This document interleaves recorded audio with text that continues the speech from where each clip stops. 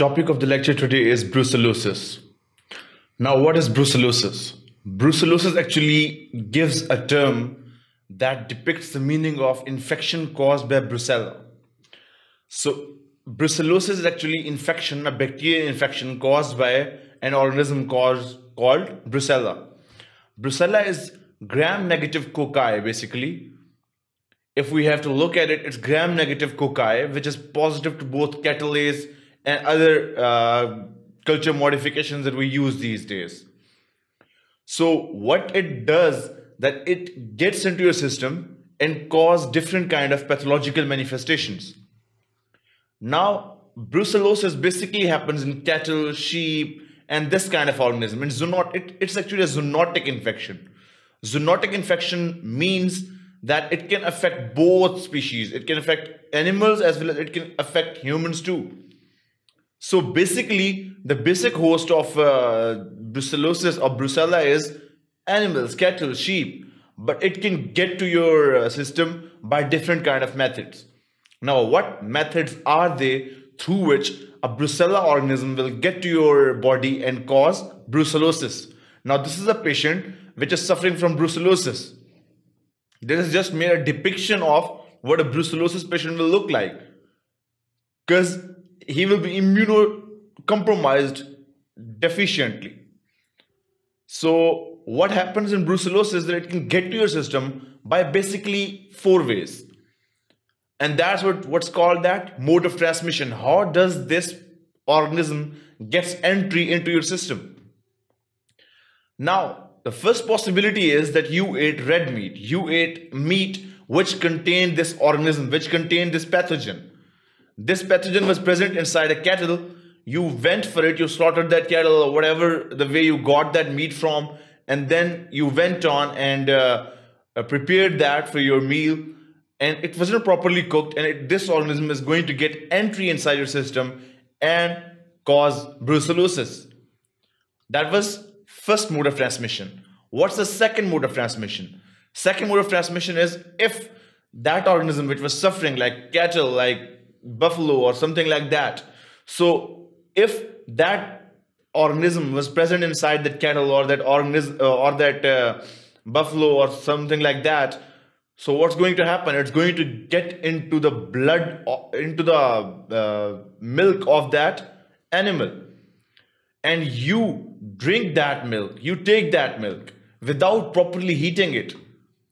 It contains that pathogen, it will get to your system and cause brucellosis. So either you're going to get it from the meat or from what? Or from you uh, from the milk of that uh, animal. So there, these are two methods. What's the third method? Third method is that it can get through your breaks in the skin. Like if my if I have a little break in my skin and I get in contact with such animal which is suffering from this pathology, this organism has the capability to break through your uh, uh, defenses, break through that uh, shredded part of skin and get to your system and cause brucellosis right? And the fourth part is that the fourth uh, way it can get to your system is if you get in contact with the secretions. Now those secretions can be anything right? Those secretions can be anything. If you get in contact with the secretions of that organism of that animal or of that person which has this pathology you're going to get it. So these are the four basic uh, factors which are responsible for getting this organism into your system, for getting this organism inside your body. Now, once it's inside your body, what's going to happen? What's going to be uh, the pathogenesis? How is it going to get inside the system? How is it going to propagate there? And how is it going to cause brucellosis there? Right? Now, let's talk about etiology of brucella etiology of brucella we talked about it that brucella comes from different organisms brucella has is a different genus right? It contains different organism. Different strains cause different kind of pathology. This is what it looks like and it it has different strains. It can cause different kind of pathologies based on the uh, pathological strain that is affecting your body. So if the strain is uh, kind of mild pathological in nature. It's not going to cause severe pathological consequences. It's going to cause mild pathological consequences. So the effect, the pathogenesis, or uh, you can say the after effects of this disease depend upon the strain of that pathological organism which got inside your body. So once it gets inside your body, what's the incubation period for this? What's the incubation period? Incubation period varies from two weeks to six weeks, and in some cases, months. It can get up to months. And we can differentiate between brucellosis by acute brucellosis and chronic brucellosis. What's the mindset of acute brucellosis? That if infection got in there and sustained there for uh, six to eight weeks, it's acute infection. Because incubation period was between two to six weeks. So if it goes up to two months, it's fine. It's acute. But if it stays there, it's going to be chronic in nature.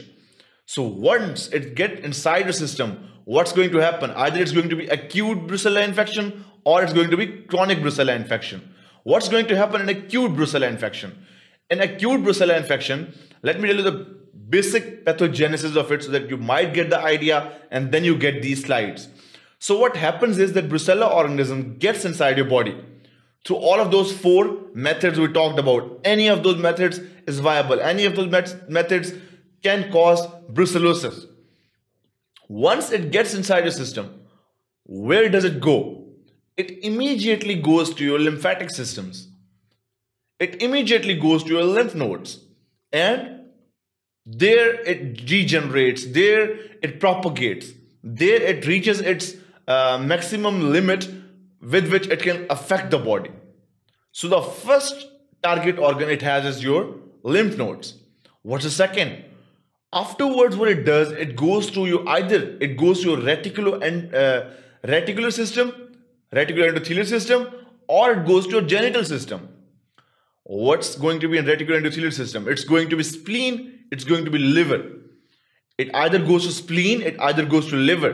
So these are the organs which where which it goes to. Or it can goes to genitalia. And in genitalia, if it's male, it's going to be prostate and testes. And if it's female, it's going to be either uterus or it can either be, if the woman is pregnant, it's going to be what? Placenta. So it's going to affect your genitals. So two systems, reticular and genital system. So these two systems are actually, uh, you can say the house of Brucella inside your body.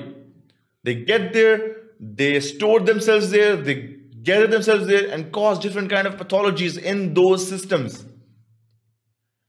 Like for example, if it's going to affect your placenta, it's going to cause different kind of pathologies which will lead to retainment of placenta.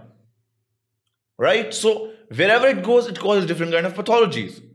So once it got inside your body and got to your systems or it's inside your blood. If it's inside your blood, what is, it going to be called? Bacteremia. If a bacteria is present inside your bloodstream, it's going to be what? Bacteremia.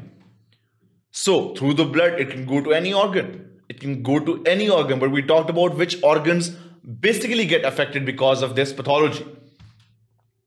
So this organism has got entry inside your systems. Once it got uh, entry inside your systems, what kind of immune response do you expect? Do you expect innate response or do you, do you expect humoral response? Both responses are activated. Not one. Both of the immune responses are activated. Both immune systems respond to this kind of pathogen. When both systems respond to this kind of pathogen, what's going to happen? First, what's going to happen? Different kind of pathogens will be found. They will be detected. And for what? You will do what? Your in your immunity will be activated and it will try to kill all those bacteria through what they will kill them through these antitoxins they will kill them through these antibacterials and through the other immunity system they will activate what macrophages now those macrophages will come in they will come into the play and when those macrophages come into the play they are going to try to engulf these pathogens now there's a red sign here, right? There's a red, big red sign here present that okay, this is our immunity. We are going to engulf these organisms in order to kill these organisms. But Brucella is one of those uh, organisms which are which are going to get inside of uh, inside your macrophage and not let it kill you, and they will actually propagate there. They will uh, stop every system that leads to their death, and they will propagate there and will lead to oxidative stress and burst that and come in contact with the other one. So our body must be thinking that okay i have this organism i have to eat it i have to kill it right these phagosomes these macrophages they're going to get there. They're going to try to kill it by engulfing them. But engulfing them is a big mistake because when they engulf them right when they engulf them what's going to happen? Mostly major chances are that it's going to stay there and stop all the systems that are going to get to their death. And reversely it will actually use that environment and propagate there and when the time is right it will burst through that. So it is kind of a very difficult pathology to understand. But when all of this is happening what's secreting? What's being secreted? Interferon gamma is being secreted. And what interferon gamma does? Interferon gamma actually promotes this activity. Interferon gamma actually promotes this uh, macrophagic activity phagocytic activity to engulf these organisms and kill these organisms. And different kind of interleukins come into the play. We're going to talk about them. So when acute brucella infection is happening, interferon gamma is gonna be there and it's gonna activate what? There are two kind of macrophages. These are classical macrophages, classical activated macrophages. And what is this? This is alternate pathway activated macrophages. So interferon gamma is going to activate more of these alternate path, pathway activated macrophages and they are going to retaliate. They're going to try to uh, affect this uh, organism. And what kind of interleukins are produced? Now, interleukins, they are basically uh, five interleukins that are very important whenever you go for the pathogenesis of this kind of organism like Brucella. Interleukin 2, interleukin 4, sorry, interleukin 2, interleukin 6, interleukin 8, 10, 12, right? And among them, interleukin 2 promotes this activity, while interleukin 6, 10, 12, they don't promote this activity, they actually de-escalate them. You have to keep that in mind. Interleukin 2 is the one that's promoting this activity, interleukin 6, 10, 12, they are just de-escalating this activity. They are not promoting this activity. So what happens? What happens is that uh, interleukin 6, interleukin 12, and tumor necrosing factor alpha are going to be in what? Excessive amount in a try to, you know, uh, fight this infection. On the other hand, in the uh, in the cell, intracellularly, what happens? This is that gamma particle that was present, and glucose is going to go down because of what? Because of this infection. Now, this is what happens in acute infection, right? So, what will happen if it's a chronic brucella infection? So in this, no interferon gamma because interferon gamma is not being produced. It's a chronic infection. It's called undulating fever, right? It's called undulating fever. What does undulating fever means? It means it, it will go up, it will go down, it will have spikes, it won't have spikes. It's proco. It will happen, that it won't happen, that it will happen, that it won't happen. So it's actually a chronic infection, right? It's called undulating fever. So interferon gamma will be produced in response to acute brucella infection, but not in response to chronic brucella infection. So what kind of macrophages do you expect there? What kind of macrophage will be there? What kind of uh, uh, macrophagic activity will be found? We talked about here alternate pathway macrophages are here, but no classical, right? But in this instant, we'll have more of these classically activated macrophages because now the body has had enough time to respond to this kind of pathogen, to respond to this kind of uh, uh, pathological activity inside your body. So what's the what's the body response is going to be? They're going to activate more and more of these classically activated macrophages and try to engulf these organisms and cause them to die and cause them to eliminate it, uh, cause them eliminated inside the body. But what happens? It's not happening because of what? Because they actually propagate inside the macrophages. So what kind of interleukin activity will be here? Now in this instance, gamma activity will be up, glucose will be up, interleukin 12, interleukin 6, tumor necrosing factors, all of these factors which were responsible to acute brucella infection won't be produced. They won't be here. So that's why it's going to be chronic. It's not having all of these acute factors, but on the other hand, it's being affected majorly by these chronic factors which regulate them. And in chronic brucella infection, once it gets inside your uh, organs, like if it got inside your genitals, if it got inside your reticular reticuloendothelial system or any other system, it's going to stay there because there's no proper way to eliminate it afterwards. These macrophages, which are supposed to kill them, are going to be the next home for them. So it's quite difficult to eliminate this infection. Now, let's talk about how does this immunity and pathogenesis come into the play, right? So this is a phagosome which contains a brucella organism.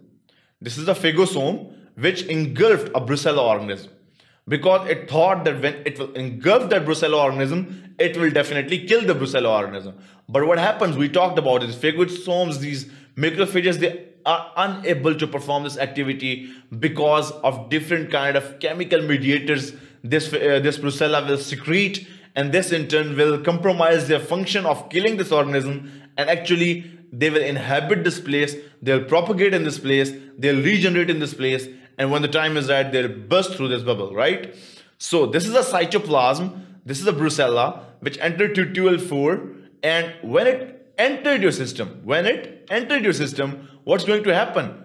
This phagosome took it inside, right? This phagosome took it, took it inside, this brucella organism was engulfed by this phagosome, and what happened? What happened was that there's no stress, there's no endoreticular stress present, right? And when all of these are present, messenger RNA decay will happen. Now there's no messenger RNA, uh, no messenger RNA present. So messenger RNA decay will happen. When messenger RNA decay is happening, it means that, that no new proteins will be produced. None of the new proteins will be coming into the play. So due to which, what will happen? Messenger RNA splicing will happen messenger RNA splicing will happen. As you can see, this is a messenger RNA and now it's being spliced. Messenger RNA splicing will happen through this chemical mediator. Now, when messenger RNA splicing is happening, what's going to happen the next? It's going to affect the NFXB. Now, one is what is NFXB? NFXB is actually uh, a molecule attached to this, uh, and it's going to go where? It's going to go to the nucleus. When it goes to the nucleus, it's going to cause these changes. It's going to secrete tumor necrosing factor alpha. It's going to secrete interleukins 1b. It's going to secrete interleukin 6. Now, when these are secreted, what kind of effect they have? Now, when this NFXB got in there, it released this potassium. It released this IKPP, what is called. Now, this brucella infection is going to do what? It's going to secrete different kind of mediators, which will lead to their messenger RNA decay, which led to these secretions. Now, messenger RNA is being decayed. It's not being produced. No proteins are being produced. So what's going to happen? It's going to cause MYD8ADD. It's an it's what you can say a chemical name for something, uh, a chemical name for the intermediates which are going to affect this phagosome. Once it affects your phagosome, it also has the same results of this uh, reaction that we had earlier. And with NFXB got inside your nucleus and IKK and PP was converted. Right? So now polyubiquinated MAL TLR is present here because of all of this infection. And what happened? This phagosome is of no use. Messenger RNA decay happened. And due to all of this, what happened? We got into secretions of tumor necrosis factors, interleukins 2, interleukins beta 1, and interleukins 6.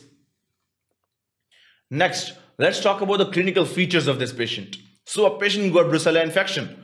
We talked about what are the four basic uh, organs which are going to get affected in response to this infection. We talked about it's going to get inside your liver. We talked about it's going to get inside your uh, uh, spleen. We talked about it's going to get inside your genitals. In male, it's, it's going to be prost, uh, prostate and testes. On the other hand, it's female is going to be uh, your uh, ureter. And uh, if the female is pregnant, it's going to be a placenta. So all of these organisms, when get affected, they will have their clinical features, their related clinical features.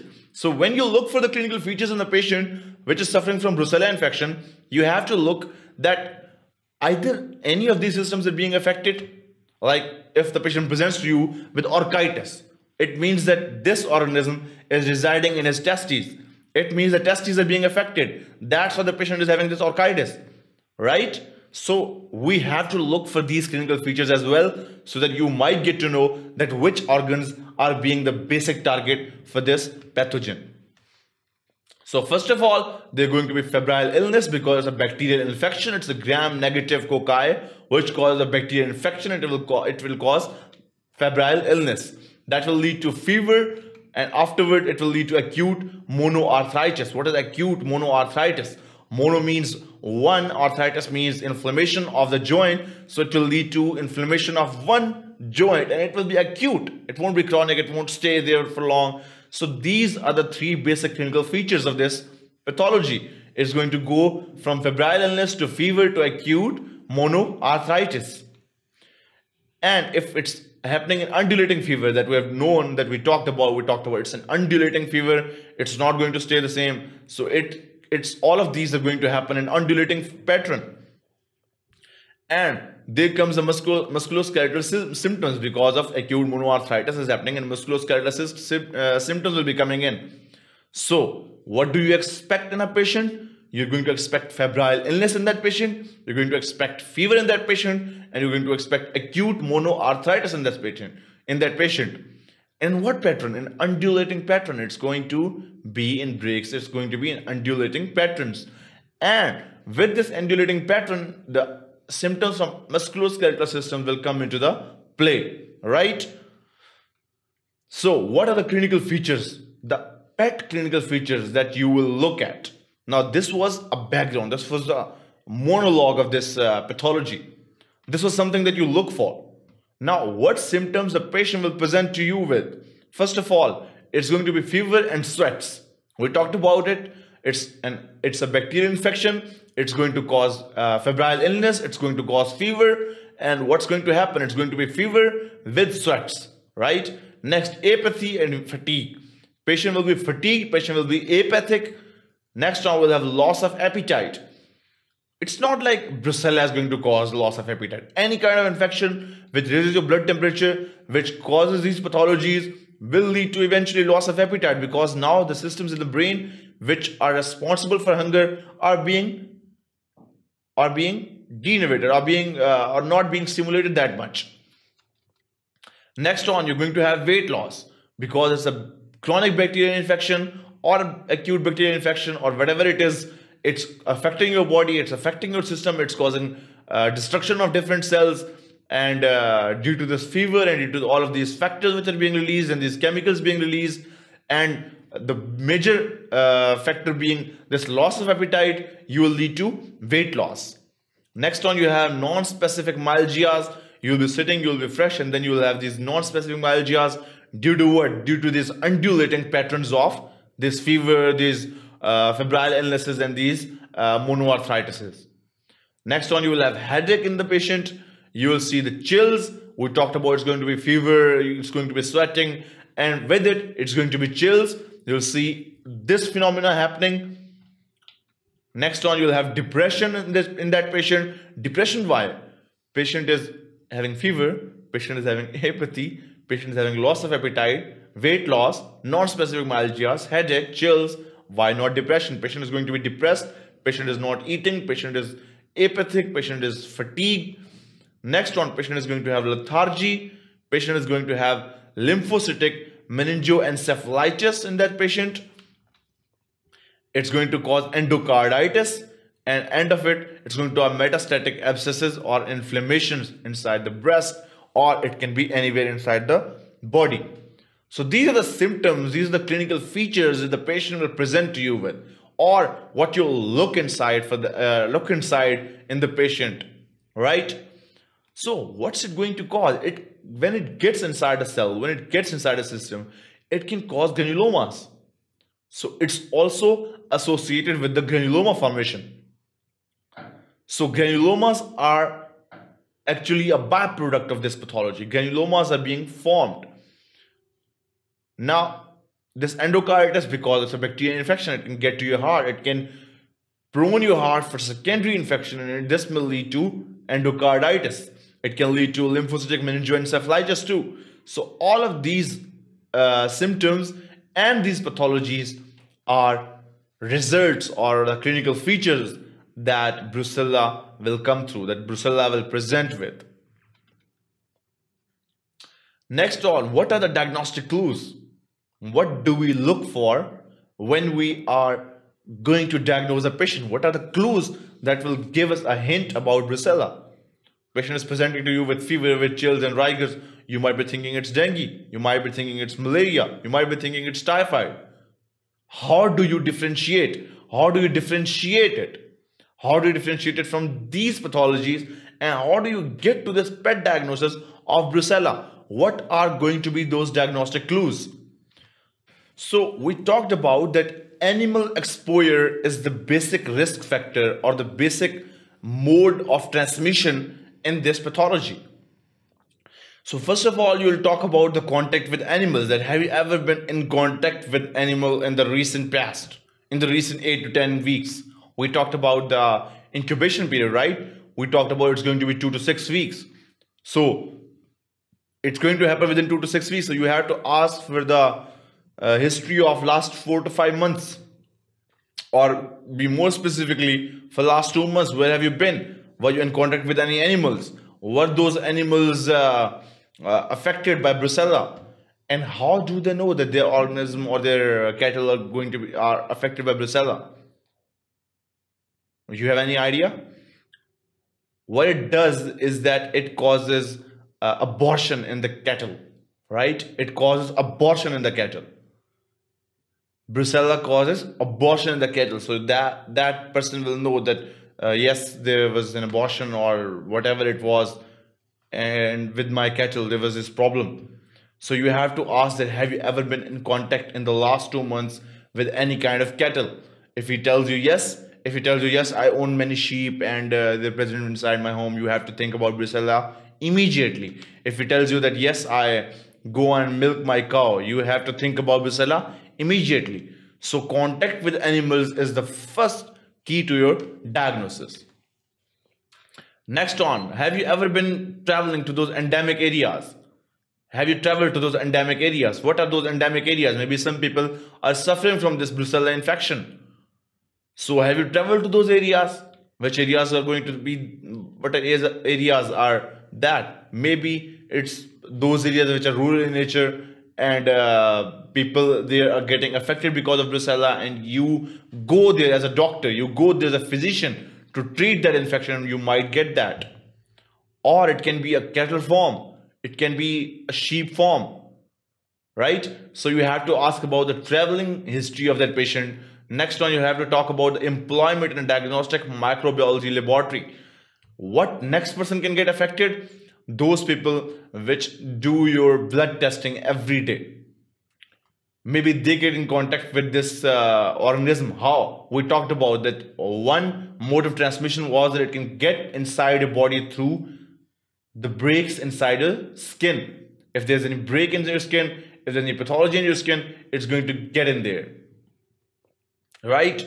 So it's going to get there very easily if there's a break in your skin. If there's uh, any kind of pathology in your skin that might you know expose uh, your body to this organism. So these microbiologists who are working with blood continuously, not knowing that this person is suffering from uh, brucella before doing the test, they might get in contact with it and they might get this pathology. Consumption of unpasteurized milk products. What is unpasteurized? Pasteurization. We talked about pasteurization. What is pasteurization? Pasteurization is heating the milk at certain temperature for certain time period. If the cattle was suffering from this pathology and you milked that cattle and you didn't pasteurize the milk you didn't uh, heat the milk uh, so that this organism may die if it's in there you didn't heat it you just consumed it it's going to get into your body and cause brucellosis history of similar illness in the family you have to ask about history of similar illness in the family that either if your father mother brother, sisters cousins were living inside your home have been affected because of it because then you'll know that there's a reason that this person is getting this disease. There must be a causative factor inside this family. It can be that sheep it can be that cow it can be anything. And this might be the pathological reason for getting this disease. And this person might have gotten this disease from the other person right? It can also get through coitus. You know the meaning of coitus right? So other uh, uh, factor with which it can get inside your body is coitus. So it can he can get it from her uh, wife or her, the wife can get it from the husband. So this is also another factor to consider. And next on you have accidental inoculation with veterinary brucella vaccines. If you accidentally inoculated yourself with brucella vaccines you're going to get this disease. So what are the diagnostic clues? What are the points? You go for the history. Uh, you, you go after in the history. Whenever you judge a patient, whenever you diagnose a patient, you always, always start from history, right? You go from your, what's your name, what's your father's name, what's your whole biodata, when were you born, to your presenting complaint. What's your presenting complaint? What have you presented with us? What have you presented to us with? That patient is going to tell you that I'm having these febrile illnesses, I'm having these uh, problems with uh, my body, I'm having these sweats, I'm having these tachycardias, I'm having these chills, I'm having these uh, uh, cardiac problems as well. You immediately think of, okay, I have like five to six different diseases that will help me get there. That will, uh, five to six different diseases that might be the reason for this person to suffer. And how do I confirm that which disease it might be? You go for the history. Then you ask different questions. And to get to Brucella, just like uh, to get to malaria, you asked whether have you slept outside, whether there are many mosquitoes in your areas, with is there any pond in with uh, near to your home, that kind of questions. What will lead you to the diagnosis of brucella? You'll ask for what? You'll ask for these six questions. Number one, was there any contact with any kind of animal which suffered from this disease? which suffer from recent abortion. Next, we'll ask if you have traveled into any endemic area, being a doctor or being a patient or being a friend, have you traveled to any endemic area? Number three, we're going to talk about are you working in a microbiology lab where you uh, wash the samples all the time, where you uh, have in, been in contact with some kind of blood or some kind of uh, uh secretions of that person. Number four, we'll ask for the consumption of unpasteurized milk products. That have you ever been uh, taking that kind of milk which was unpasteurized and it was coming from that kid who just had an abortion or even not. You won't even know that know that cattle is having brucellosis. If it's not pregnant how would you know?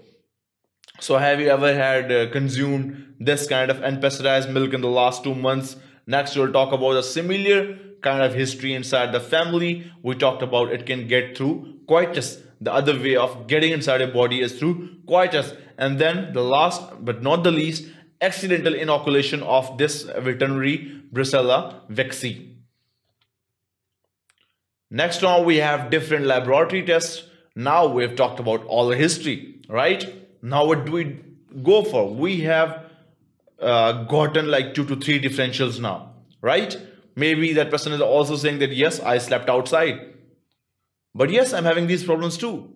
So now you're confused between malaria, you're confused between malaria typhoid and brucella. Now, how do you confirm? For malaria, you will go for malaria parasite. You'll, for typh- typhoid, you'll go for typhidot.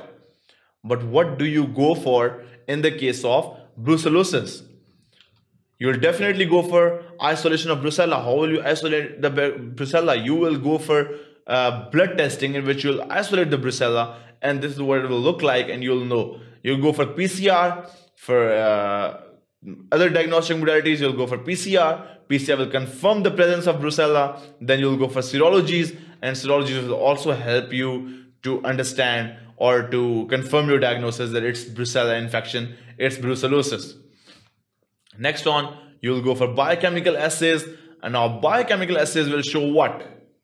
Now, what I'm about to tell you are going to be in your mind for the rest of your life. These are pet, pet, pet clicks on your mind that if someone says to you, hepatic enzymes raised, it will be one click to you, right?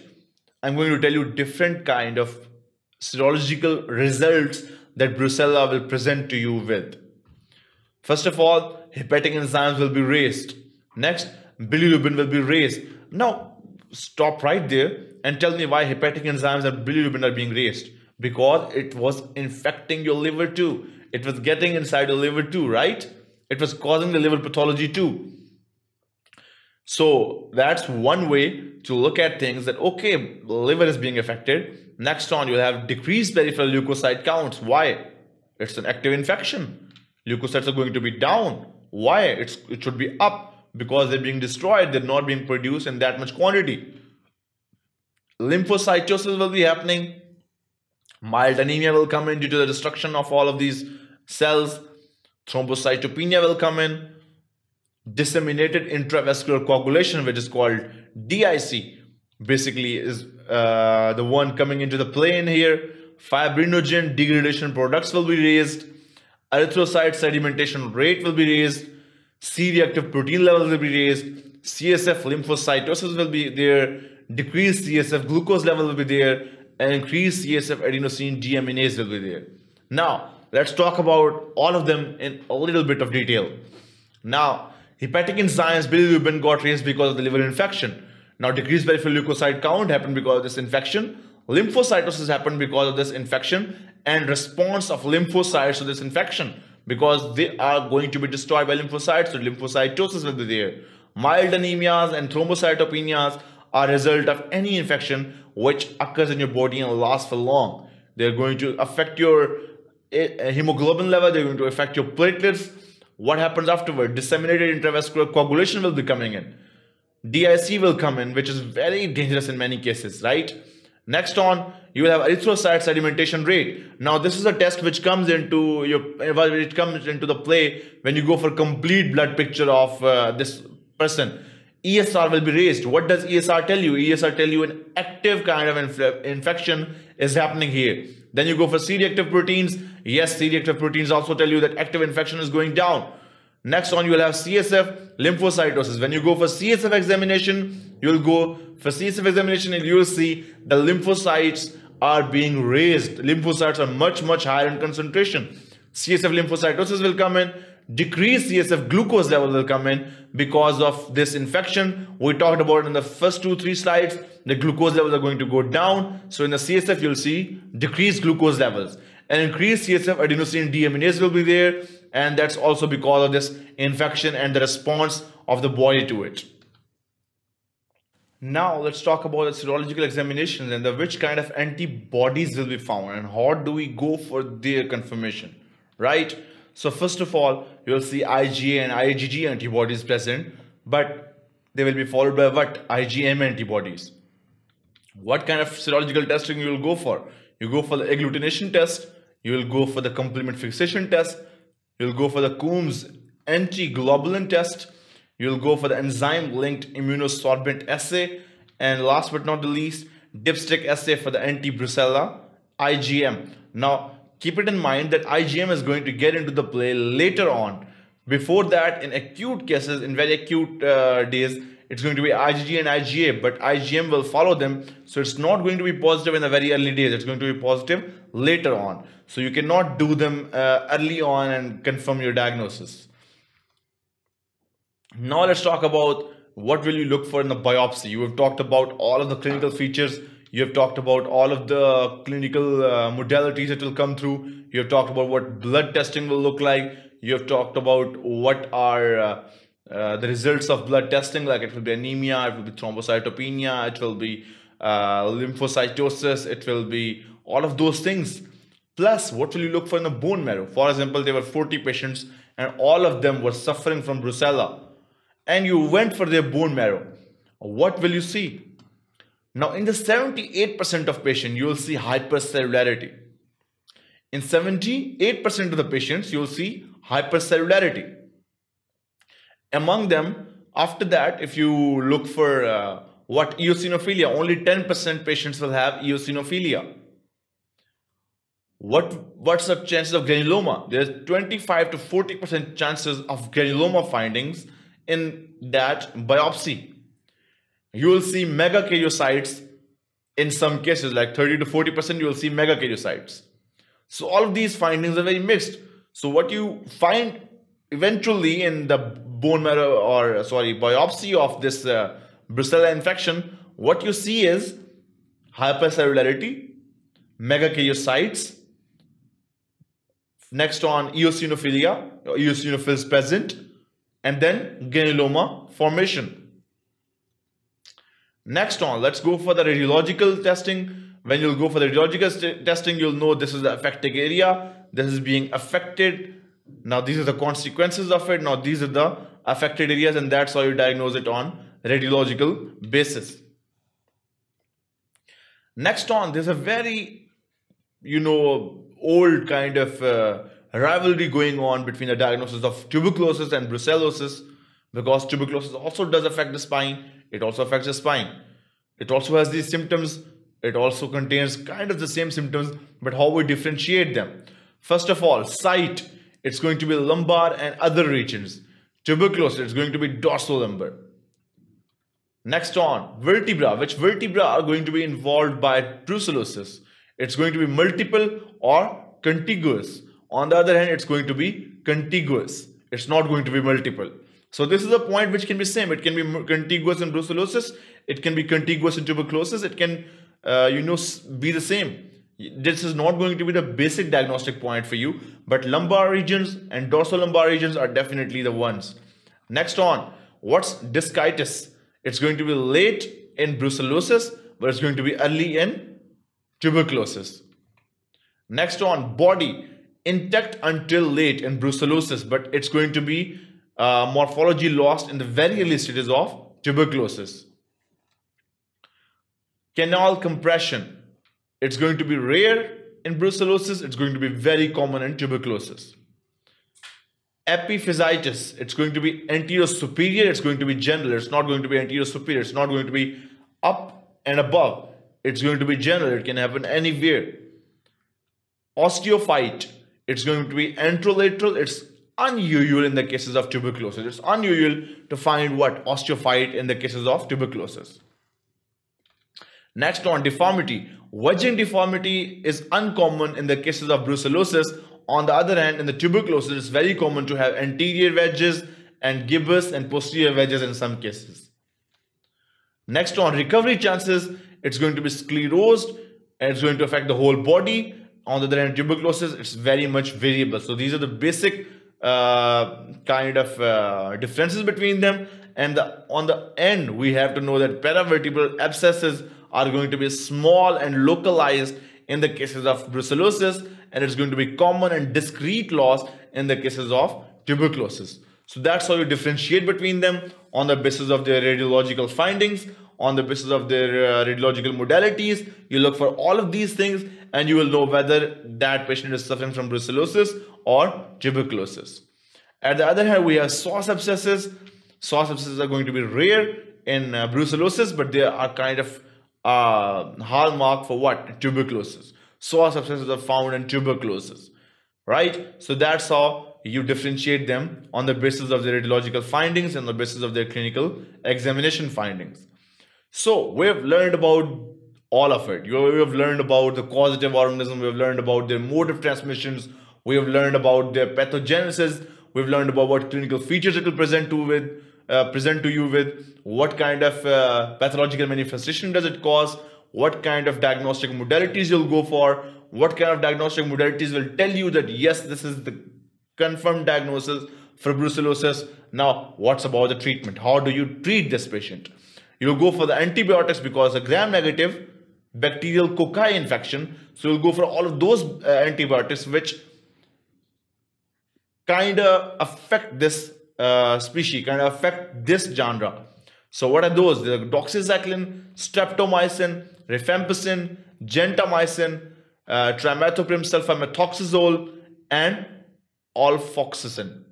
Now, these are the antibiotics, chosen antibiotics, or you can say specific antibiotics which affect the gram-negative cocci, and that's why we start with these antibiotics and ciprofloxacin and kind of second degree if you don't get it treated by rifampicin and gentamicin you go for ciprofloxacin. Now these are the antibiotics chosen antibiotics or specific antibiotics you'll go for if a patient is suffering from brucellosis. Now treatment for adults and the gold standard is going to be IM streptomycin plus doxycycline.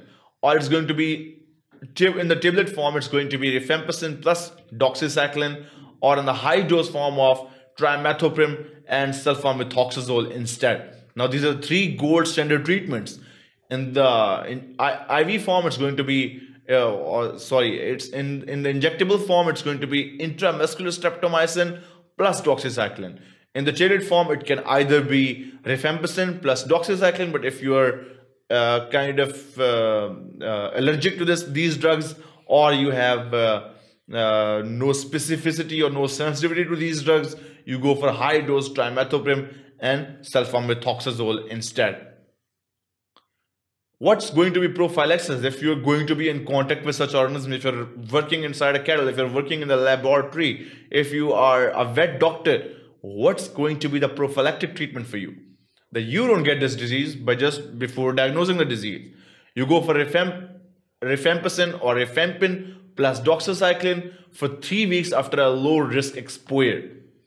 Before you get this disease, before the incubation period comes in, you go for rifampicin plus doxycycline for three weeks and for six weeks after a major exposure.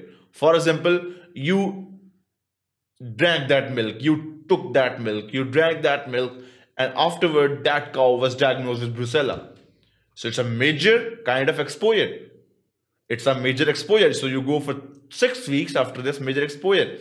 On the other hand, if you have been in contact with blood and you had a break in your skin and you don't know whether it touched there or not, you go for rifampicin for three weeks with a very low risk exposure. So how we prevent this from happening? How do we prevent brucellosis from happening? First of all, vaccine, vaccines are available, which will be live attenuated vaccines, live attenuated strains. Your body will produce antibodies against them and you won't get this disease. Next on, you'll have this testing and slaughter of infected herds and flocks. You go on testing on regular basis of these flocks of animals. And if someone got this disease, you immediately go for the slaughter technique. Next on, you have the control of animal movements. Next on, you have active immunization of animals. If these animals are suffering from it, you can give active immunization and you can go for pasteurization of all milk products. Whether the patient, whether the cattle is suffering or not, you don't know it yet. You have to go for pasteurization. You have to heat it up to certain degrees for a certain time. Due to the uh, with the help of uh, pasteurization method you go through it and you won't get this disease. Now these are all the preventive methods that you have to look for that you will have to follow through for not getting this disease. Now that's all for today regarding brucellosis. Thank you for watching sqadia.com